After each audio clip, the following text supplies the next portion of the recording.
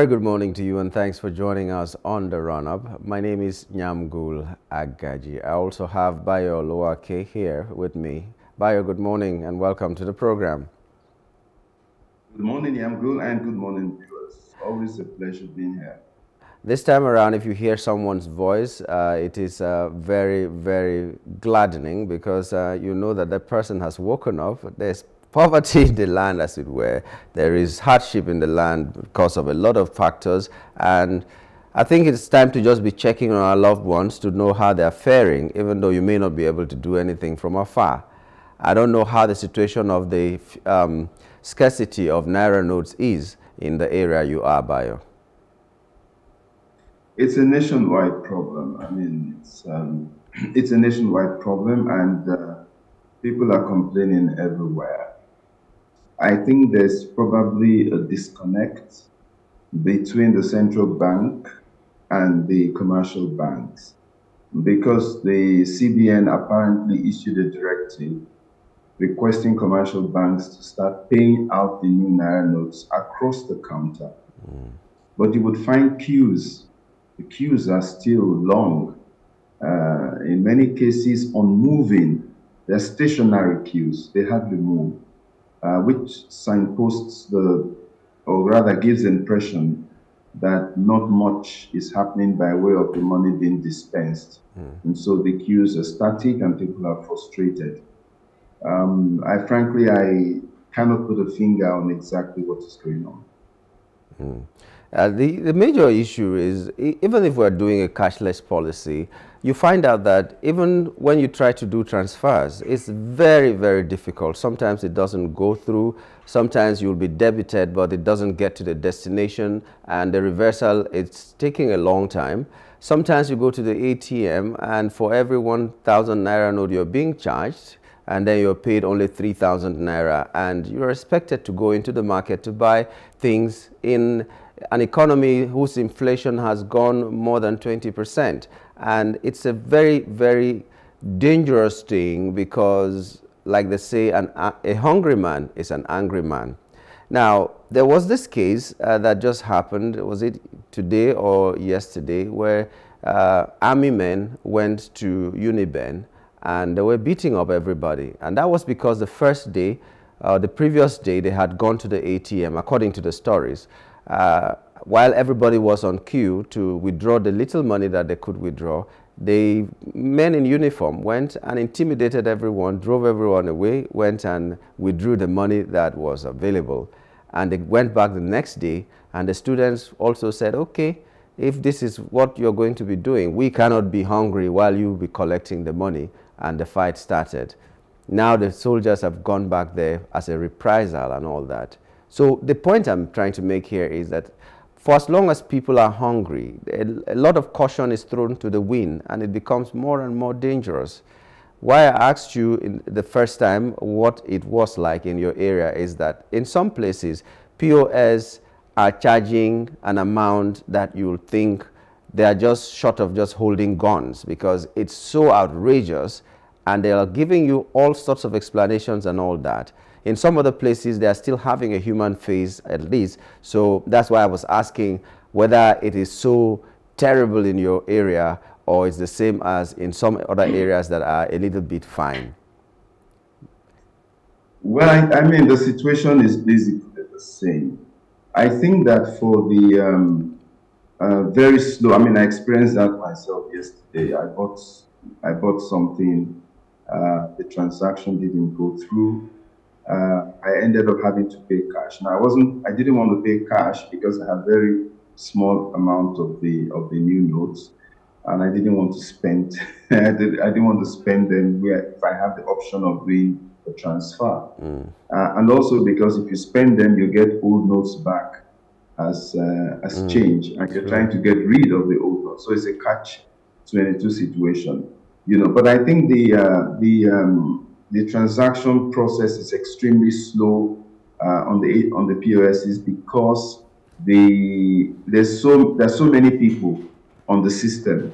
Mm. You know, everybody is on the system trying to make uh, trying to make things uh, uh work for them. So uh, it slows down. This is what I suspect, right? Uh, now, for the, um, uh, and, and then they have to do something about this. I mean, the other day we were talking about the bandwidth, you know, the internet bandwidth. Yes. When everybody started working from home because of COVID, in the first few weeks when the whole world switched to online, we had problems. The system was very slow mm. because it was not configured for having so many people at the same time. Mm. But in a matter of weeks, you know, it, it was resolved. You could go on Zoom, you could go on Skype, you could go on anything, and it was normal speed, even if there were so many people. So my expectation was that perhaps a similar approach ought to have been taken when the CBN knew that this process was going to be launched, to have involved all the companies providing uh, access, yeah. access, you know, VSAT, uh, whatever it is, uh, which the banks basically use to ensure that there's an increase in the bank. Apparently, that is not happening. With regard to the soldiers who went to University of Benin, in my personal opinion, there's I don't see any reason for soldiers to have gone there. First of all, I believe that most of the military barracks have ATMs. There are banks, there are ATMs in, in, in the barracks. So for soldiers to go out of the barracks and go into a university campus, although this is what we saw online, but I want to believe there's an element of truth to it. I don't think it was fabricated, but of course it should be investigated. And therefore, for them to have engaged in, no matter the level of provocation, they had no right to have uh, engaged uh, in the act, you know, uh, that, that they, they, they, are being alleged, you know, to have been engaged in. And um, it speaks also to the level of discipline from the barracks from where they came. The commanding officer of that barracks, from where those soldiers came, has to explain why his soldiers left the barracks and whether they were authorized to go out of the barracks at that time. You know, because discipline has to be taken seriously. Because what has happened now is that they are giving the army a very bad image, okay, by their conduct or by their alleged conduct. They are giving the military a very bad name. So the commanding officer of that barracks ought to take measures. He has to find out why those soldiers left that barracks at that time. And for the students of the University of Benin who are allegedly beaten, they have a right to complain to the police and they have a right to complain to the provost marshal of the Nigerian army. They, they probably know where those soldiers came from. So, and, and what usually happens is that people don't take action and people just complain. But if people know the right quarters and, and take the necessary action, I am sure this will not repeat itself. So the authorities or the students have a right to complain the commanding officer of that barracks and to the provost marshal of the Nigerian army. Yeah, well, but like I said, a hungry man is an angry man. Um, the soldiers should never have cause to be hungry because there are no uh, Naira notes to use. And the students also should not have any cause to be uh, uh, hungry because they don't have money to spend. I've seen people who have been stranded in places. I've seen people who are otherwise rich men uh, becoming almost like beggars. I've seen stories, some of them online, you may not uh, believe them, but the ones I have seen, I've seen people really, really suffering. Whatever has to be done by the, by the Central Bank of Nigeria should be done and should be done very fast because the more it stays, the more it lingers, the angrier people get. It's, this is not about election or anything, but it's just about the welfare of the people. We didn't, yes, we didn't, we didn't plan for this. We didn't envisage this. But on the other hand, I know that the policy is good. In fact, it's not a new policy. This, this should have been happening every five years or 10 years as, as the case may be. But now it has happened after so many years. So we're trying to adjust. But whatever has to be done should be done now. And before now, Bayo, I was talking with uh, a security expert um, about another grievance, another anger that the people may be feeling now because there are online stories, like you said, that we cannot believe all of them, uh, about uh, bandits, supposed bandits, alleged bandits, brandishing new Naira notes and claiming that they have up to 10 million. And the security expert just laughed and said, these people are people who want to incite the citizens against the government and they like to do what they call war propaganda. So nobody should ever take them seriously because, I mean, how do they get this money? So I, I tend to uh, tilt to his side as well and to also talk to Nigerians that the fact that you're seeing it online does not mean it is true. It, if, if a fight begins within the community, it is not these supposed bandits that are trying to uh, soil the name of the government that will suffer. It is you and I that will suffer. So let's appeal to the relevant authorities to do the needful rather than believing what bandits that already have shown themselves as people who want to divide this nation are showing on uh, online. So I'm just borrowing the words of the security expert to also talk to Nigerians. Uh, maybe you have a word as well to say. I mean, you said it all. You see, we need to be extremely careful in this day of uh, social media. We need to be extremely careful because social media gives you immediacy, uh, which means you can put anything there almost as it is happening. You can even put it live. And um, as long as you know, there are no fact checks made. You don't have the date, you don't have the location, uh, you don't have all of those kinds of information on whatever is published. Most times it is very difficult to ascertain or to verify, you know, what has been published. And so we need to be extremely careful. Uh, it's not just about what, what we find, but there are also people who don't even check the information they are sharing. People just see something and they just forward it. And this, this cuts across ages. I've seen people who are in their 60s, who are in their 50s, doing the same thing. You don't forward everything. It's not everything you get that you must forward. There are people who bombard other people with so much information, just forwarding and forwarding without even knowing whether what you're forwarding is true or false. And then you generate unnecessary discussion. In some cases, you generate unnecessary tension you know. And that's why when we were discussing the Uniben case, I said what the soldiers were alleged to have done. Because unless all these things are verified and confirmed, it is usually difficult to speak authoritatively on them. So we have to be extremely careful. Mm. Okay, well, I'd like to just inform our viewers right now that the second half of this program, we will be talking with a, a legal practitioner, Ikenna Agbasu, and we, our concern will be what INEC predicted about fuel scarcity uh, maybe affecting the, uh, that it might affect the elections on the 25th of February and maybe beyond and all that. But right now we're just looking at some topical issues that are uh, worrisome in our society right now. People, like we have said uh, throughout this show, we've talked about, or people have called in to say there are now three queues. There's a queue for the fuel, there's a queue for new Naira notes, in fact, for money, not just new Naira notes, and then there's also a queue for PVC. Everybody needs to queue for all these ones because uh, one of at least two of them will affect you. Whether you have a car or not, the fuel scarcity will affect you. Whether you have an account in the bank or not, the uh, new Naira notes or the money will affect you. The unavailability of the money will affect you and also everything else that we are queuing for. But we have to take the right decisions. We'll have to be patient a little bit more and all that. Well, let's just um, look at another security issue that may not be related to what is happening right now. It's an old issue about the, the former Minister of Petroleum, that Diezani Alison Madueke, that was, there was a request put forward that the UK government should let her come and face the music in Nigeria, and the UK government blatantly said no, whatever reasons that might be.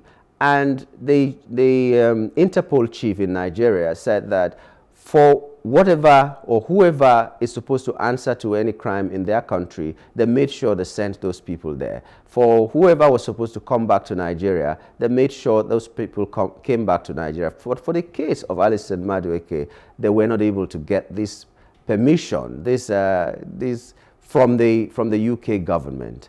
Now, I don't know.